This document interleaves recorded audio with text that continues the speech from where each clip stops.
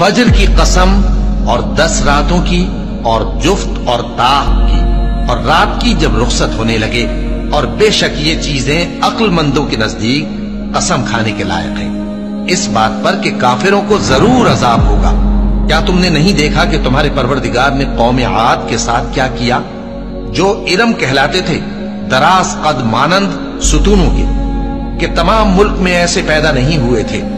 और समूद के साथ क्या किया? जो वादी कुरा में चटाने तराशते थे और फिर के साथ क्या किया जो खेमे और मेखे रखता था। ये लोग मुल्कों में सरकश हो रहे थे। बस उनमें बहुत सी खराबियाँ करते थे। तो तुम्हारे परवरदिगार ने उन पर अजाब का कोड़ा बरसा दिया। बेशक तुम्हारा परवरदिगार ताक में है।